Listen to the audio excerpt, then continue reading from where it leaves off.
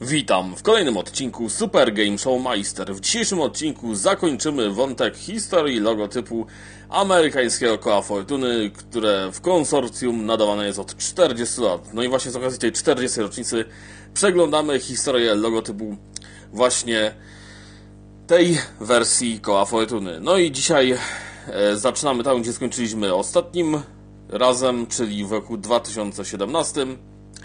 Mamy ostatnich 5 logotypów. No i zaczynamy od e, właśnie sezonu 2017-18.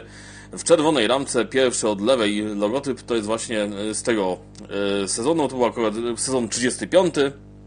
To też nad logotypem koła Wheel of Fortune, nad napisem Wheel of Fortune, takim stylistycznym, mamy napis 35. rocznica.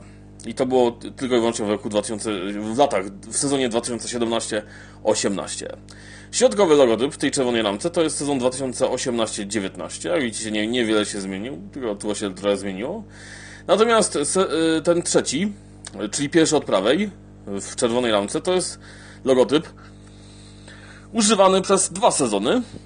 Pierwszy sezon to dwa, sezon 2000 y, właśnie 19-20, a drugi to 2020-2021, czyli przez dwa lata, od 2019 do 2021, do 2021 roku ten logotyp numer 3, czy też pierwszy od prawej w czerwonej ramce był używany. No a w zielonej ramce pod spodem mamy dwa logotypy.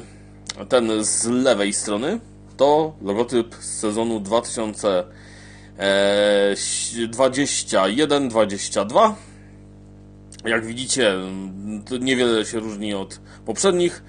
Natomiast ten z prawej to logotyp z sezonu 2022-23, który był 40. sezonem e, konsorcjalnego Wheel of Fortune. W związku z tym, zamiast tego symbolu koła w tle, mamy nie dwie niebieskie litery XL. Pod spodem napis 40 sezon.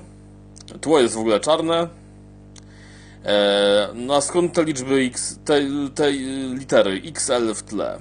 Dla niewtajemniczonych XL w zapisie, rzymskich, w zapisie rzymskim oznacza 40. No i tak wygląda historia logotypu e, konsorcjalnej wersji teleturnieju Koło Fortuny Wheel of Fortune od roku 1983 do 2023. Na kolejną część tego materiału będziemy musieli poczekać jeszcze jakieś 5 lat.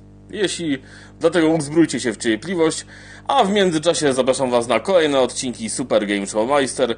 Za dzisiaj Wam dziękuję i do zobaczenia.